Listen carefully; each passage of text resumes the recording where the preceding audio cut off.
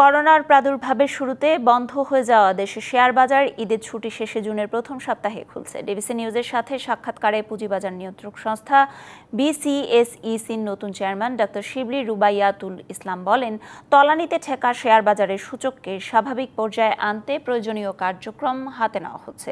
বাজারে আস্থা ফেরাতেও করণীয় নির্ধারণ করছে বিসিএসইসি। সামনের মাসে ফার্স্ট উইকে বাজারটি খুলে দেই। আপনারা হয়তো ইতিবাচক একটি সূচক দেখতে পাবেন আমি আইডেন্টিফাই করছি যে আমাদের কোথায় কোথায় অ্যাটেনশন দেওয়া দরকার এবং সেই ইস্যুসগুলো অ্যাড্রেস করছি। আমাদের সামনেই বাজেট বাজেটেও আমাদের বন্ড এবং অন্যান্য বিষয় নিয়ে বেশ কিছু বিষয় এসে গেছে যেগুলো নিয়ে আমরা এখন কাজ করছি। আর বিনিয়োগকারীদের আস্থা বাজার যখনই তারা দেখবে যে আমরা গভর্নেন্স নিয়ে আসছি, আমাদের future option market future market এখানে অনেক কিছু করার আছে।